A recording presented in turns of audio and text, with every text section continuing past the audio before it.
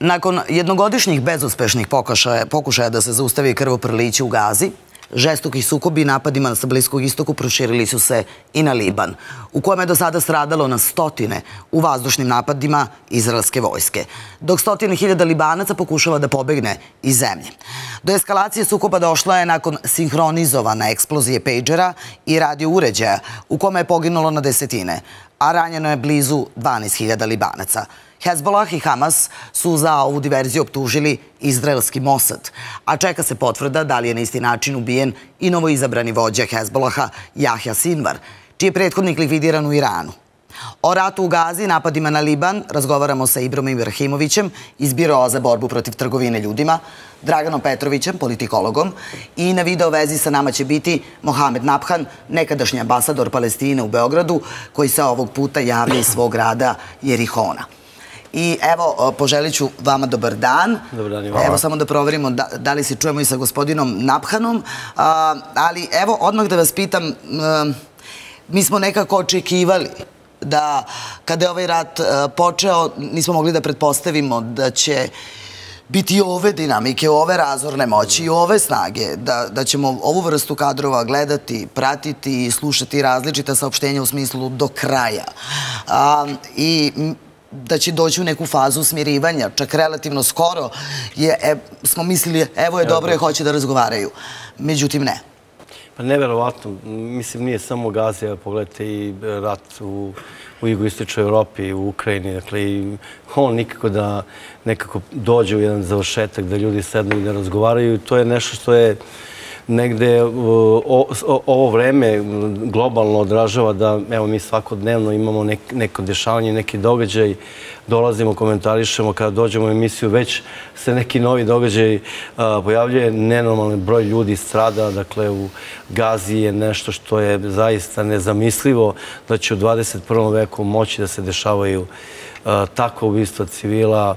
Evo sad postoji jedna potencijalna opasnost da se taj rat proširi i da se prelije e, na Liban i Hezbolah. E, ono je bio ograničen rat u Gazi, ograničen rat, katastrofalan, dakle zaista, ali ograničen rat.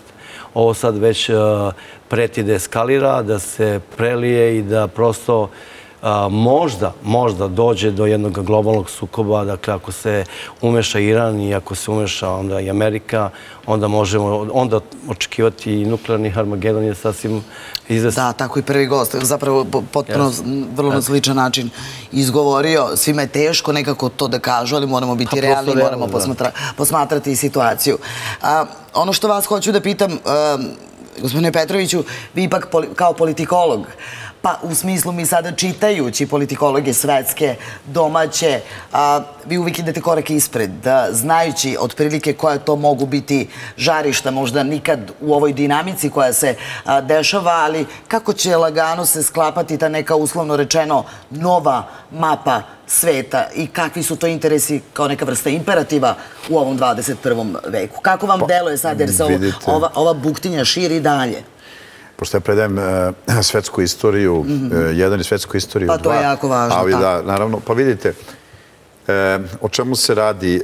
Ovde jednostavno svet je privremeno postao monopolaran nakon rušenja Berlinskog zida i da ne ponavljamo neke stvari. Mi se se nalazimo u jednom vremenskom periodu koji je neizvestan koliko će trajati, ali dolazi do prelaska na multipolaran svetski poredak.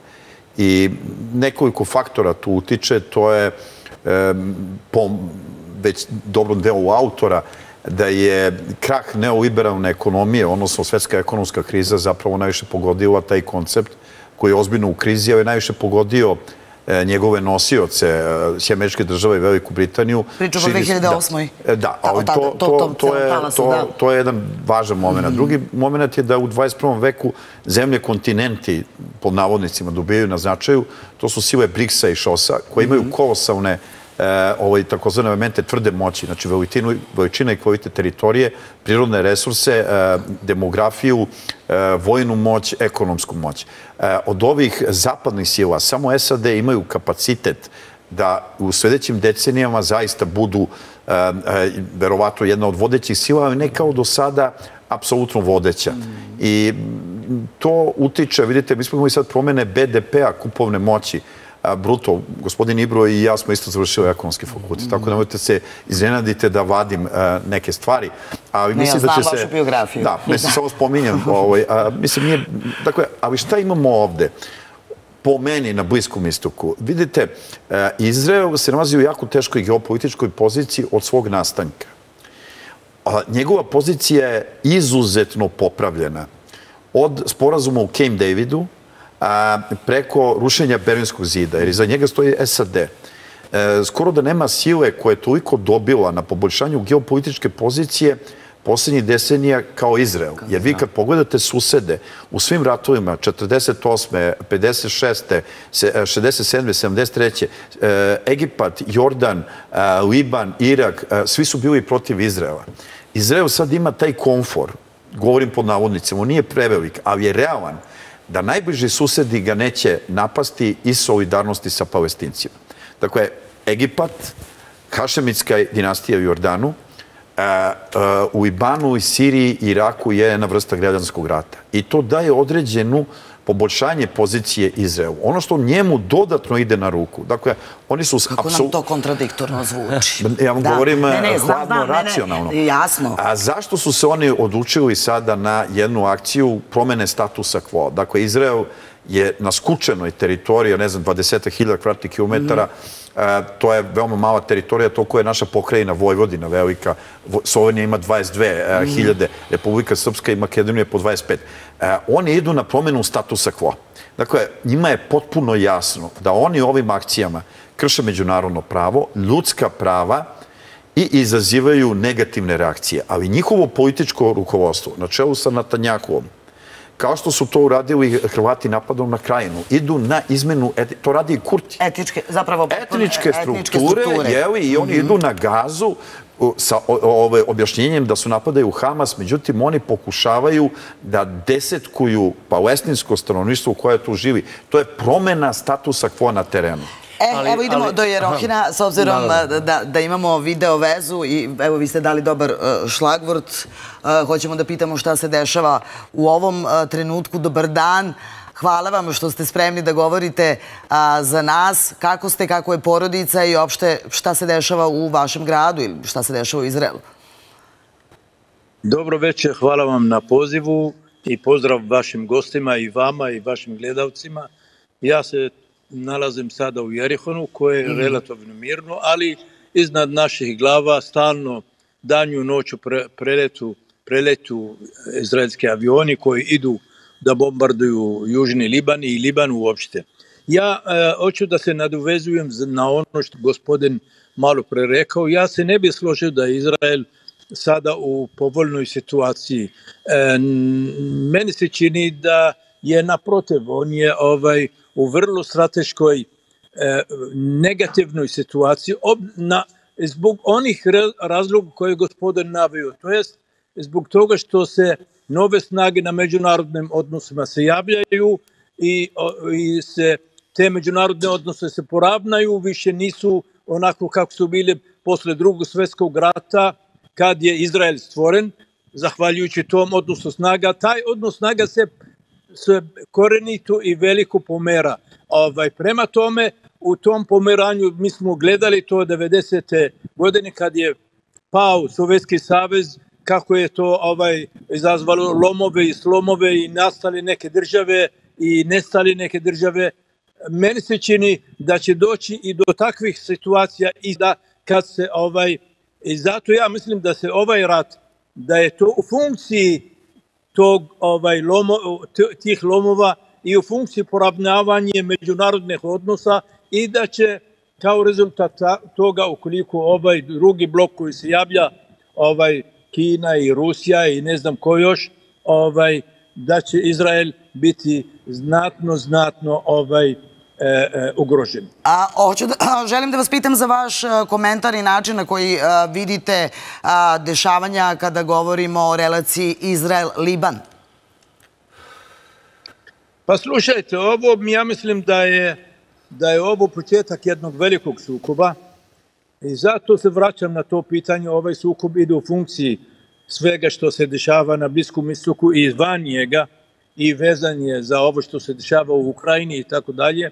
Ali ovo u Libanu, e, eh, Hezbollah je ovaj, ozbiljna snaga. Izrael naravno ima avijaciju koja je veoma aktivna, koja je veoma jaka, ali sem toga nema ništa.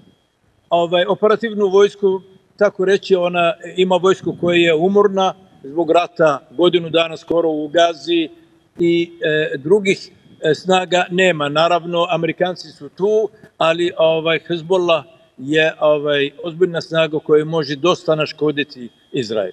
A recite mi i palestinske i uh, libanske vođe, hajde da kažemo, palestinskog Hamasa, libanskog Hezbolaha, su, uh, možemo konstatovati, pretrpili teške gubitke s obzirom i da se jedne i sa druge strane su vođe ubijene. Uh, I kako sad vidite, čeka se ta potvrda koja govori o ovoj nesreći, tragediji koja se dogodila sa tim pagerima i koja nam je zapravo otvorila sad jedan novi način i vid ratovanja? Vidite ovako, moramo gledati to kroz jednu prizmu. Izrael ratuje protiv para, e, paravojnih organizacija, protiv država. E, te, te para, paravojne organizacije nemaju strukturu, nemaju ovaj e, kako da vam kažem e, fiksni e, kadar rukovodeći kadar nemaju ovaj kako da kažem operacione jedinice i tako dalje i tako dalje. Oni su vrlo mobilne. Prema tome gubitak nekoliko čoveka kadrova ili vođa i tako dalje to ovaj vrlo malo utiče na ovaj na na jer te formacije su napravljene da budu e, ovaj, e, slobodne u delovanju i da ne zavise od toga da li je vođa tu ili nije. Prema tome, to, to, to može da traje dugo i ne verujem da to ovaj znatno uticao na mogućnost i na moć ovog Hezbollah.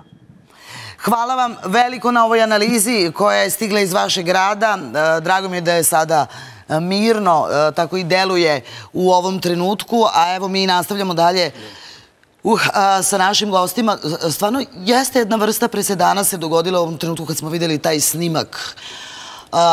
I sad smo već svi u varijanti, kako da vam kažem, čekajte, znači, određene vlade su i rekli, Libanska, mislim da se više ne koriste mobilni telefoni, jer ovo postaje također, strahuju, pa logično je, jedan novi oblik ratovanja. To jeste jedan od dobiti, da kažem, koje su izradnici želeli da dobiju, jesu strahuju od korišćenja komunikacijskih e, uređaja. Ali ako dozvolite, vratio bi se malo na analizu. Ne, ne, mhm. Dragan je to zaista radio na jedan odličan način. Ja bih se malo vratio ranije, mhm. pre nego što je Hamas zaista surovo napao Izrael i naravno posle toga zaista je bio brutalan odgovor Izraela. Trebao da se potpiše sporazum o normalizaciji između Saudijske Arabije i Izraela pre tri godine je potpisan e, sporazum između Emirata i Bahreina. Mislim da je Maroko trebao da potpiše. Dakle, taj potpis između Rijada i Tel Aviva zaista bi preoblikovao e, region Bliskog istoka. Pre svega u bezbedonosnom smislu. Jasno. A onda ajde da razmišljamo ko je tu sa strane gledao i kome to nije odgovaralo. Da, ne znam, Izrael bude hegemon na Bliskom istoku. E, naravno se radi pre svega u Iranu naravno i Rusiji u tom momentu, Rusiji je odgovarala jedna diversifikacija rata s Ukrajine, gledajući iz neutralnog ugla, i Iranu koji zaista kao financijer i Hezbolaha i Hamasa e, nije želao takav raspad događaja. Pozornica je bila spremna za širi sukob u tom smislu. Naravno, e, postoje i evo i u ovom trenutku mogućnost da se i e, taj uticaj Irana suzbije na određen način. Na koji način? Pa evo, e, suzbili su ga tako što su prvo zaustavili razvoj nuklearnog programa. Znate, ulogom Irana kod Hamasa i Hezbolaha, pomoći Hutima i pobunjenicima u Bahreinu, obstrukcijom u Iraku, učešćem u ratu u Ukrajini, Iran je stekao puno neprijatelja, čak i u arapskom svetu, muslimanskom svetu. Zaista i to obustavljanje nuklearnog programa razvoja je bilo sasvim normalno, jer Iranu više niko ne veruje da će on biti korišćen u mirnodopske svrhe. Mirnodopske svrhe. Jel, to otvara, jel nam to sada otvara još jednu, kako bih nazvala, ratnu pozornicu? Samo sam teo da, evo, Aha, da, naravno. prosti, Dragane, evo, evo, mi savršavam zaista... Uh, zaista smo na jednoj prekretnici kao svet i strah koji se osjeća među svima nama je zaista opravdan. Rat u Ukrajini je na hiljadu kilometra odavde. Ukoliko se ovo bude prelilo, vrlo moguće da će Iran reagovati ako se konkretnije direktnije napadne Hezbolah. U tom momentu se Amerika meša. Iran je kontroliše Ormoški zaliv, 20% globalne nafte prolazi kroz taj Ormuški zaliv. Možete zamisliti kakve će biti posljedice globalno po svet. Na kraju krajeva i u Srbiji, koliko će proizvodi poskupeti. I to je nešto, takav raspad, zaista bih volao da niko od nas ne doživi. Mada također vaše kolege, imala sam priliku u Forbesu da čitam baš ekonomisti, kada je ekonomija u pitanju, ne predviđaju upravo zbog svih tih uticaja baš dobar period koji je pred nama, ali da ne budemo pesimistici. Evo kada pričamo, evo završam, kada pričamo o tome zašto arabski svet e, e, ne izvrši veći pritisak da rat u Gazi prestane, jedan običan, normalan potez bi bilo da 7 dana obustave naftu, videli bi koliki bi pritisak bio izvršen na Izrael da se rat zaustavi i da znači počne da pregovaraju miru. Očigledno da e, tim arapskim e, oligarhijama ne odgovara da uđu u bilo kakav sukup sa Zapadom. Je mogu da čujem vaše tumačenje, ali opet i neku vrstu... Ja nisam e, rekao da naveo, ja sam prosto naveo kao činjenice. Da, da, da. Dobro, moguće malo emotivno da se... Mislim, prosto je činjenica da, pazite, posle Camp Davida, sedište Arabske lige iz Kaira preneseno u Tunis. Ja sam samo rekao ono što je gospodin Ibru naveo, da u arapskom svetu ne postoji takva solidarnost i spremnost da se uđe u sukob po pitanju palestinaca. I oni se sad nalaze u težoj situaciji. Ono što otežava situaciju, što je manje poznato u javnosti, što je sad nastavak ono što sam rekao, mhm. jeste dnevna događanja. Ovo su e? strateška događanja. Znači, da svi susedi imaju neki problem ili sporazum sa Amerikom i u Izraelom i ne žele da se direktno umešaju. A drugo je da velike sile na Bliskom istoku, uzmimo primjer Indiju, Indija ima vrlo komplikovane međunarodne odnose.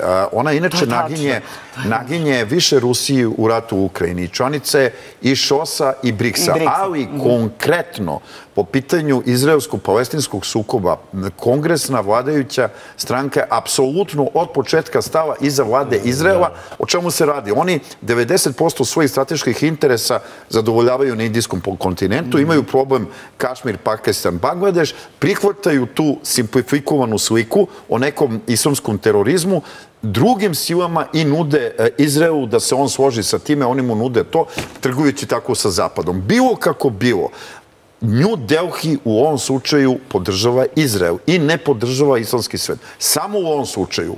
E, gledajte sad, Rusija je zaokupljena sukobom u Ukrajini. Ona nema kapacitete da ozbiljnije stane iza Irana, s kim ima sjajne odnose. A Kina u takvoj korelaciji je uzdržana. Tako da Iran ostaje jedini izložen. Dakle, ako je Irak, Liban, Sirija imaju građanski rat. Ako je e, Hašemitska dinastija u Jordanu sarađuje sa Zapadom, uprko većini svojih e, stanovnika, od koje je dobar deo palestinske izbeglice koje tu žive. Ako Egipat vodi takvu politiku, e, sem retoričke, neće ući kao ranije u zubu. Onda u takvoj situaciji Iran ostaje izložen. I Iran je svestan da Amerika negde eh, bi ga eh, rado udarila kad je sam. Znači, neka akcija bombardovanje i vrlo su oprezni. Mhm. Vrlo su oprezni. Znate, to pratim. Tako da, eh, ovaj, Hezbollah, to jeste da je izbačeno, ali ja mislim da su to umekšane reakcije. Dakle, ja lično mislim na osnovu praćenja situacije da se Iran neće usuditi da izađe na... I zato sam rekao da Izrael to osjeća. Izrael ima kratkoročno šansu. Ona ne mora da bude za godinu, dve. Da, nego da iskoristi sad ovaj I oni, nažalost, pazite, to je nehumano, tu ima zločina, tu ima svega. Jasno. Ja samo, oni žele da izmene tu strukturu, pre svega gaze, ne verujem da imaju neke veće aspiracije u ovom trenutku prema jugu Bana, ali je to možda akcija uzrokovana s time da mislim da je ovo katastrofovan potez sa peđerima, jer je to u svetskom javnom mnjenju će izazvati bez prema Izraelu. I Izrael koji ima apsolutnu podršku Sije američkih država, bez obzira ko je na vlasti. To možete da analizirate sve relevantne političare Dobro. koji se takmiče u podršci Izraelu. Mislim da je suviše se istrčao. I posljednje što ću sad reći Ali mi u nemamo ovom zvanično delu... saopštenje da, je ovo, da, da su ovo izraelske službe E, uradile. vidite, ne, ne, ne, e, u redu, ali ja govorim načelno. Neko Dobro. je to uradio, vidjet ćemo koji. Samo još jedna rečenica. E, Natanjahu ima vrlo delikatnu poziciju. On se zamerio i Vašingtonu, jer godinama e, podržava Putina. Dakle, situacija je jako komplikovana, postoje skrivene želje velikih aktera. Americi a, je izuzetno zainteresovana jer je to naftonosni region da zadrži svoj uticaj. Ali koliko arapski svet nije solidaran, evo možete vidjeti da simplifikujem kad već e, pričamo o tome. Da. Pogledajte utakmice u Rijadu gdje Ronaldo igra, daje go, pune su stadioni, oni aplaudiraju dok u istom momentu u Gazi gine hiljade i hiljade dece, žena. To sam tako mislio. Da. Dakle, koliko je to zaista neverovatno, a koliko smo mislili A mi smo da je očekivali da to kada- da, kada- to će to da objediniti 350 zajednicu, miliona. odasu, tako smo Ali doživljavali. Pokazuje koliko je interes, Interes. i nama i nas treba da nauči koliko ratovi mogu da budu ograničeni. Pričamo o Srbiji, pričamo o regionu, o Republici Srpskoj, a, moramo da budemo mudri i da iz ovog izvučemo neke zaključke. Indija je također složena, ali Indija želi da Ali privuče sve zapadne, Jeste. evo vraća, sve zapadne Da. kompanije iz Kine.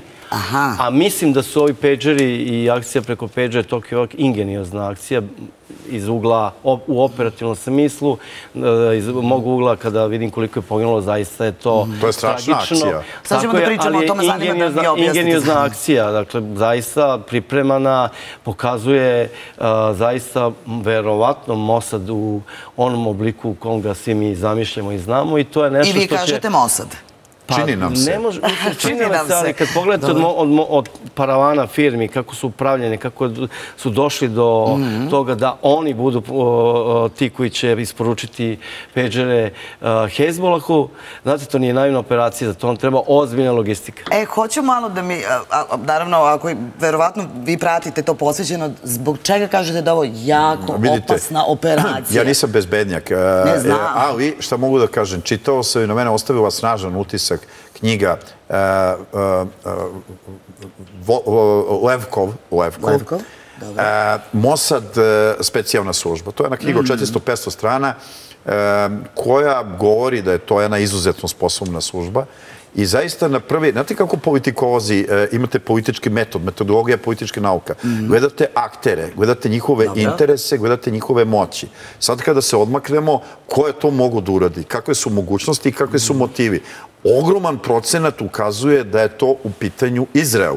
Makar u subordinaciji sa nekim. To je utisak. Vidjet ćemo šta će biti, ali e, mislim da ona može biti kontraproduktivna, jer ovo je jedna vrsta terorističkog čina Akta, da. koji e, izaziva negativne asocijacije u svetu. Da li je to moglo da preduzme neka sasvim druga sila da bi napakostila Izraelu moguće, ali vidjet ćemo. Ali šta se Ali desilo? ovi od drugi kažu i, Izrael kaže i. I? Ovi što su ljute na njih i, pa evo oni svaki dan a, bombarduju u, u Gazi, neselektivno ubijaju. Tako je. I na svako... Sve pod opravdanjem da zapravo se ali traže tuneli, Samo kažu i.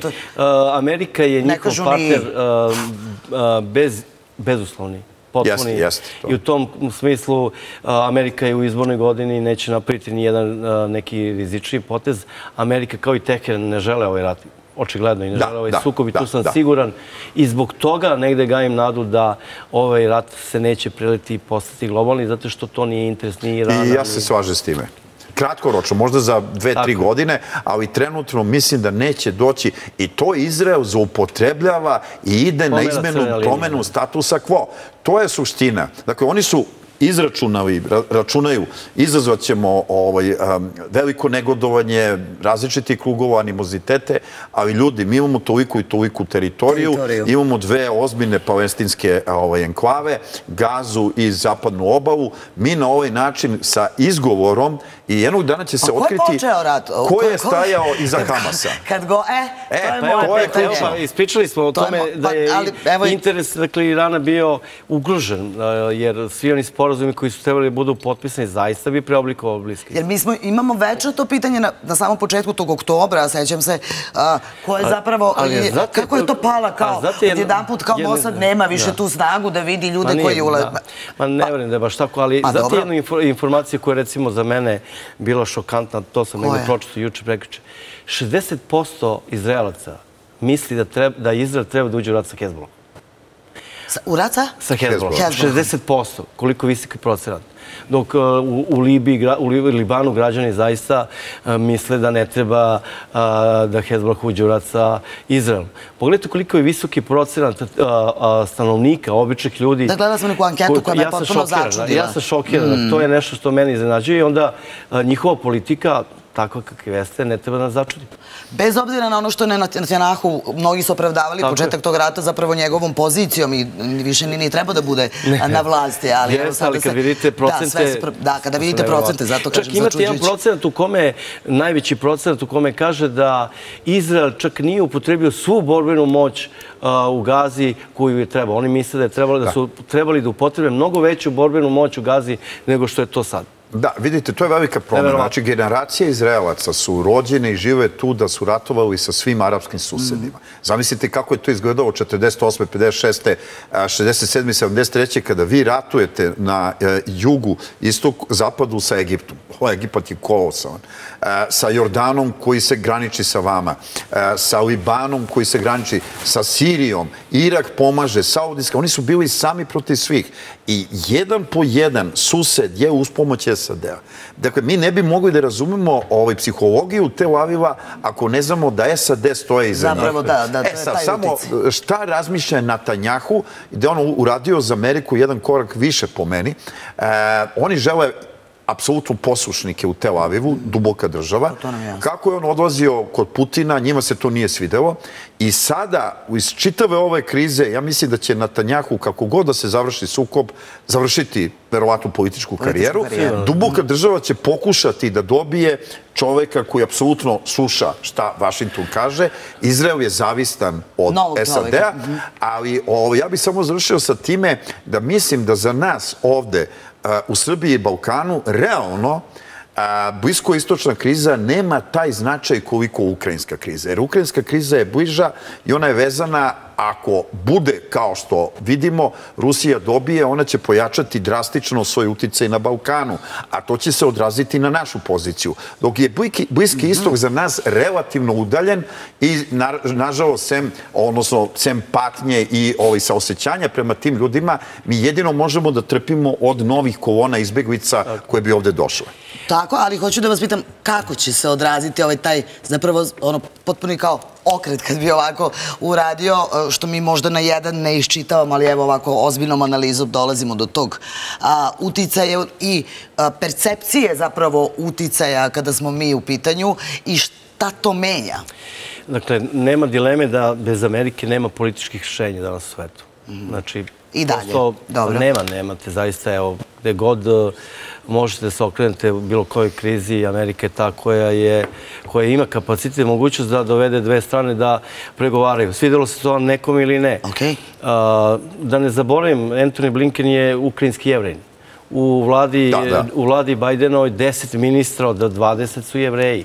U, uh, hoću da uh, kažem koliko je povezan Izrael sa Zajednica, da, Amerikom prosto i koliko koja je ta na jevrijska... različite segmente, Ne, da, ne, da, prosto da bi razumeli ljudi uh, zašto Amerika i neće i ne želi, zašto gleda kao strateškog partnera i bez ikakvih uslova. A recite mi ovo, to, taj da. uticaj koji će e, očigledno da se dogodi, a, o, verovatno ste mislili na, Rus, na Rusiju, je li tako? Da, a ovako, vidite, svet se menja, ide ka, mu, e, ka, ide ka multiporizmu. Tako da, evo, naviše samo jedan Ali će Amerika podatak. biti, kao što ste evo, rekli, e, jedno Ibro, od Mi smo ekonomisti, a, BDP kupovne moći, 99. SAD su imali duplo više nego Indija, a, Kina i Rusija zajedno. Sad je taj odnos a, skoro duplo, a, kao, znači četiri puta se, sad je 54 prema 100. Dakle, Krupne su promene. Amerika smanjuje omnipotenciju i ovaj, Izrael neće moći neograničeno samo sa savezništvom Va- a, Vašingtona da reši sve probleme. A mi? A, što se tiče važni. e, nas, u tom moje spinu. mišljenje, e, moje mišljenje je da Amerika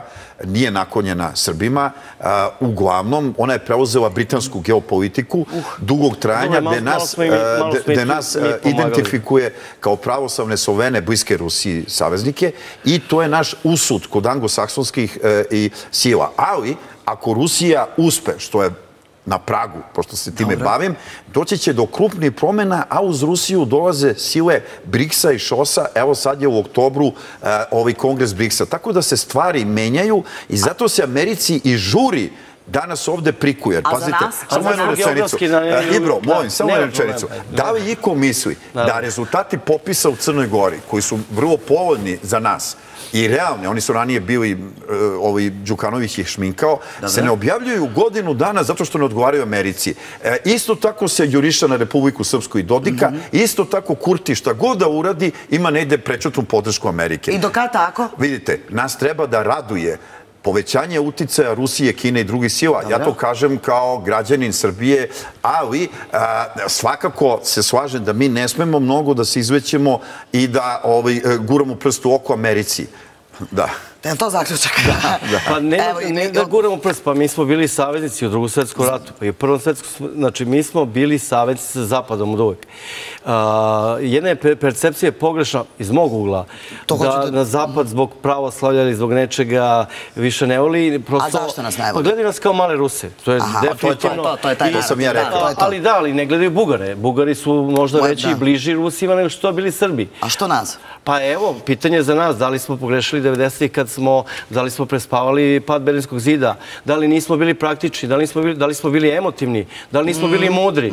B- Prosto pro, moramo da promišljamo. Svidelo se to nam i ne. da li Bugari su dva svetska rata uperili oružje na Rusiju, imali su bugarsku kraljevsku nemačku kraljevsku dinastiju i ovaj, u svakom slučaju stvari se menjaju i za nas idu na bolje. E, dobro, eto, možemo to mišlju da završimo. Pa, Me- me- Meni ja bih jako volio da znam, inspirativni. ja bih volio da znam da geografski smo tu gde jesmo, okruženi smo zemljama NATO pakta i Evropske unije, nismo u Kazahstanu ili na Ka- Kavkazu da bi nam BRICS bio toliko važan kao projekat. Nisam siguran će Indija i Kina naći mogućnost da se dogovore. Kakve su to vrednosti? Saudijska Arabija, Indija, Kina, Rusija će tu biti iskrajnuta kad pogledate, kakve su zemlje tamo. Francuska i se Nemačka, će to- njihova- to- Francuska i nema. Nemačka Kada imaju e, samostalnije i bolje geopolitike prema nama. Dakle, Francuska i Nemačka, kad nisu pod pritiskom NATO-a, imaju bolje Bolje, odnose prema Srbima. tako je. Tako I da je je po tačno. meni a, anglosaksonski faktor, nažalost, taj koji je najmanje E. naklonjen Srbima, a posle idu i Nemačka, i Francuska, i Italija i ostali. Tako i naše osjećanje, ali Da. vi bolje to razumete, dobro, eto. ovaj, bavite se time. Hvala vam veliko, Hvala bilo mi je zadovoljstvo što smo vama popodneva razgovarali.